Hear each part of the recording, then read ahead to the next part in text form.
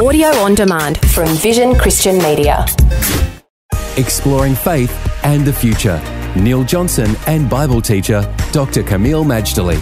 We've been talking about some of those things we can understand when we open that very short but very powerful prophetic Old Testament book called the Book of Joel.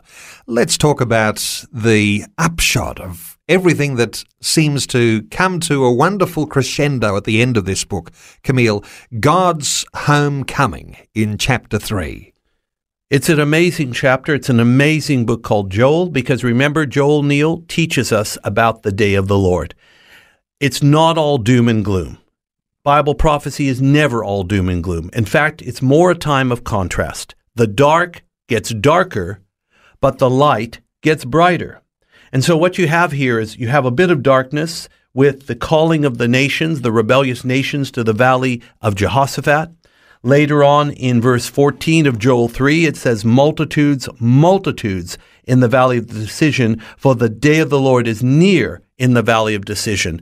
So, yes, it's uh, judgment time. Take stock. Where do you stand before God? And then there's some intriguing verses.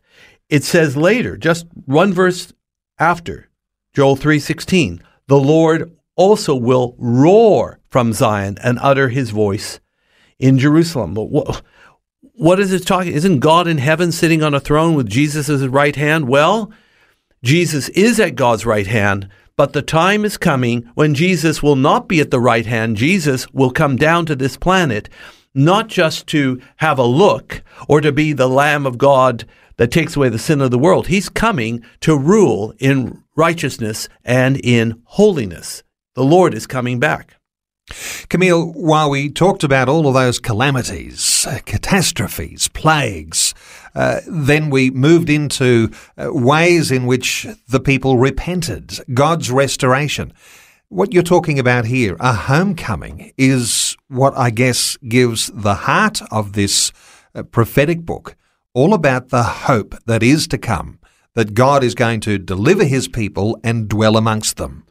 That's exactly right. It's called the kingdom of God. And the kingdom of God has a king. His name is Jesus. First time Jesus walked the earth, he preached the kingdom of God. And whenever there were miracles and the like, the kingdom of God has come near you, upon you, and so on. When you get to the book of Joel, it's speaking about God reigning and dwelling in Zion. For example, Joel 3:17.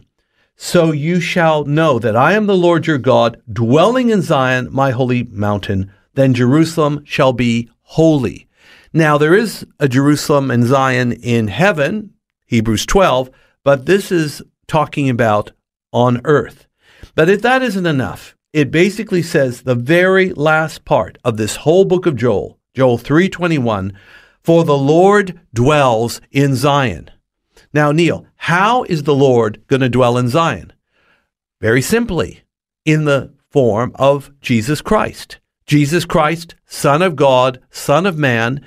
He became a man. He's the Word that put on flesh, and he's still a man as well as still God, fully God, fully man. When he returns, it's not just he's returning as a man, he's returning as the Lord.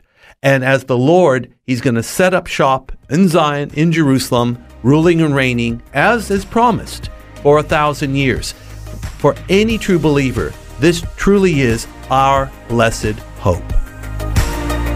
Faith and the Future with Neil Johnson and Dr. Kameel Majdali from Teach All Nations. For more from Dr. Majdali, including books and DVDs on prophecy, Bible commentaries, plus today's and other episodes of Faith and the Future, go to vision.org.au.